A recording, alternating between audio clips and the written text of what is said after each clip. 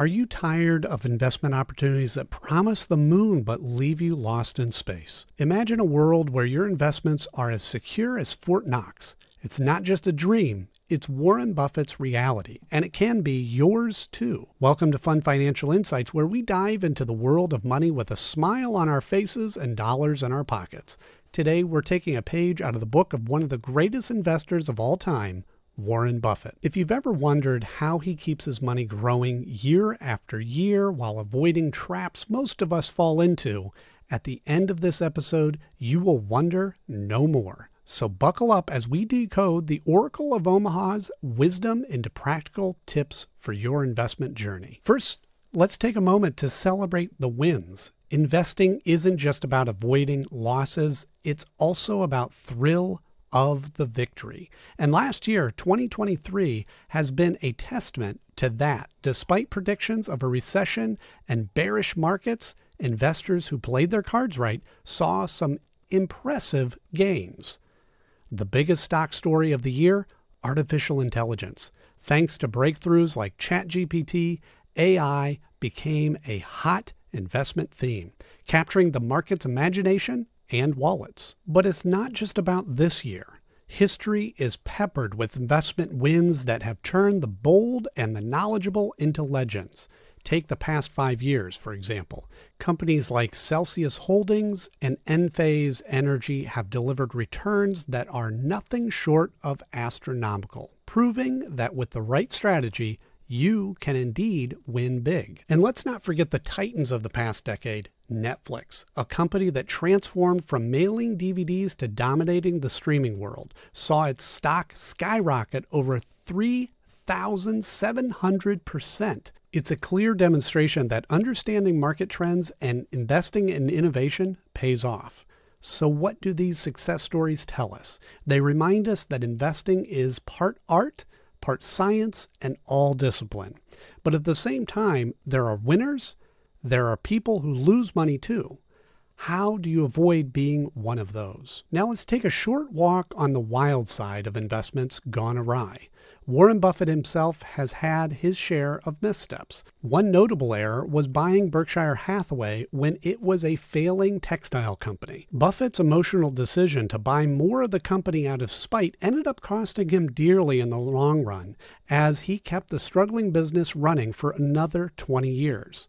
Buffett repeated a similar mistake by purchasing Waumbec Mills, another New England textile company, which had to be shuttered not long after its acquisition by Berkshire in 1975. Berkshire Hathaway owned a significant number of shares in the UK based grocer Tesco.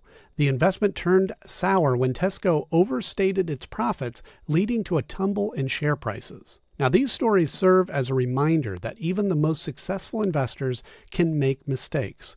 The key takeaway is to learn from these errors, avoid emotional decision making, and conduct thorough research before investing. Imagine you're at a yard sale and you spot a vintage comic book for a dollar. You know it's worth way more, so you snag it. That's value investing. And it's how Buffett rolls. He picks stocks like picking ripe apples. Only the juiciest, most undervalued ones make it into his basket. Value investing is a strategy focused on finding undervalued stocks with strong fundamentals and holding on to them for a long term. He looks for companies with solid earnings, growth potential, and competent management. But what truly sets him apart is his unwavering commitment to his principles, regardless of market fluctuations. He is able to apply his knowledge of the fundamentals instead of being driven by FOMO. Financial literacy isn't just about counting your change, it's about making your money work for you. It's the armor you wear into the battlefield of investments. Buffett didn't just wake up one day and start throwing cash around. He read, he learned, and he asked questions like that time he bought a pinball machine and turned it into a money making empire as a kid. True story. There are two major rules that guide Buffett's investing. Rule number one never lose money. And rule number two never forget rule number one. Sounds straightforward, right? But there's depth to it. It's not about never making a loss. Even Buffett has faced setbacks. It's about the mindset of minimizing risk and avoiding unnecessary losses. It's about being cautious and not gambling away your future on a hunch. Next, we will look at the psychological traps you can avoid and some habits you need to build so the market fluctuations will not sway you. So keep watching, and at the end of this video, I will share with you three of the biggest loss making investments for consumers in history. But first, if you're enjoying this video and finding it helpful, please take a moment and hit the like button and subscribe to our channel. And don't forget to turn on the notification bell so you never miss an episode. Now, let's talk traps. Psychological traps, to be precise. These are the sneaky little biases that trip up even the most seasoned investors. And guess what? You're probably not immune. But don't worry, we've got the Buffett antidote. Imagine that the market is booming. Stocks are soaring. Everyone around you is buying up shares like they're the last slices of pizza at a party.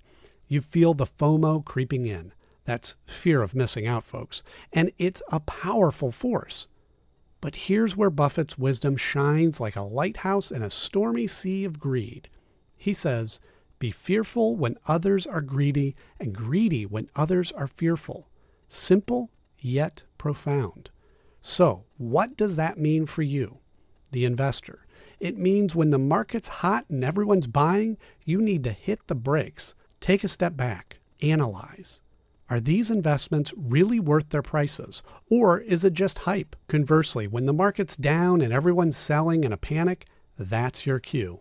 Look for quality stocks that have been unfairly beaten down. That's your discount aisle, and it's time to go shopping. But why is it so hard to go against the herd? Well, it's all about wiring.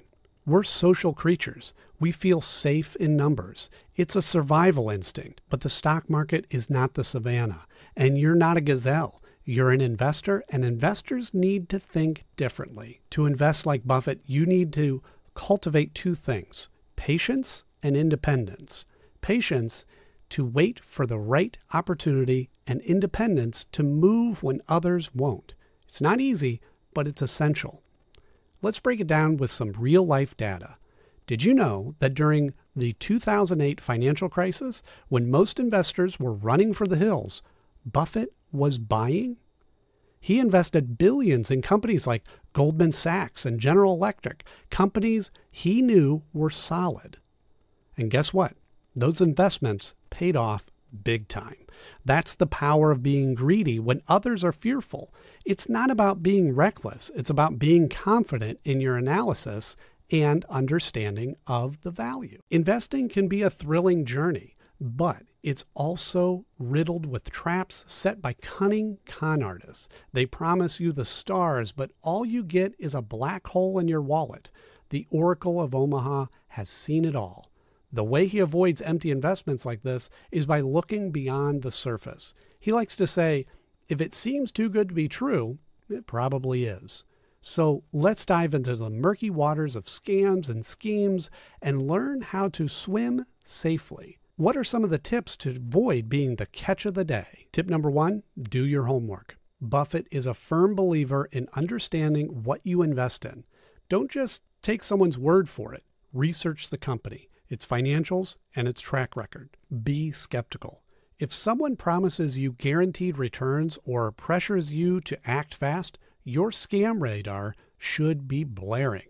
Real investments need careful consideration, not a rush to the finish line. Tip number three check the source. Legitimate investments come from legitimate sources.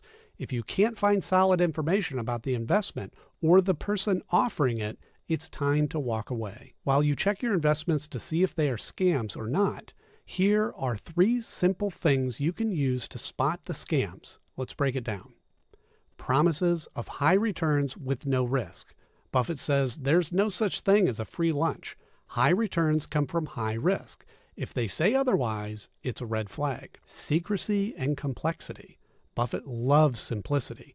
If you can't understand how the investment works, or if it's shrouded in secrecy, that's a no go zone. Pressure to invest quickly. Buffett takes his time. Scammers want you to hurry so you don't think. Always take a step back and think it through. You see, Buffett didn't build his empire by chasing after quick cash. He did it by making smart, well thought out investments, and that's exactly what you should aim for. Now, as I promised, here are three of the biggest loss making investments for consumers in history. First up, we've got the infamous tale of the pet rock craze. Back in the groovy 70s, someone had the brilliant idea to sell rocks as pets. Yes, you heard that right rocks. And people actually bought them. It became a cultural phenomenon, with folks shelling out their hard earned cash for a glorified paperweight. But alas, like all fads, the pet rock trend eventually fizzled out faster than you could say rock on. Believe it or not, the inventor, Gary Dahl, sold over 1.5 million pet rocks, making him a millionaire overnight. However, for the investors who tried to ride the pet rock wave, it was a different story. With an initial investment of around $3.95 per rock, many found themselves holding on to worthless rocks as a craze died down. Next on our list of financial flops is the dot com bubble of the late 90s.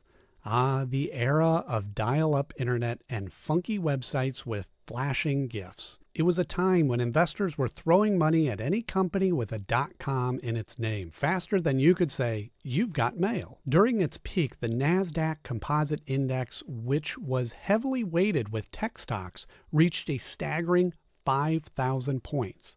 However, when the bubble burst in March 2000, the index plummeted by a whopping 78% over the following two years erasing trillions of dollars in market value. Companies like Pets.com, which famously spent millions on advertising but never turned a profit, went from being the darlings of Wall Street to cautionary tales in record time. Last but not least, we have the legendary tale of the Beanie Baby bubble. Remember those adorable stuffed animals with the heart shaped tags? They were all the rage in the 90s, with collectors going to extreme lengths to get their hands on rare beanies.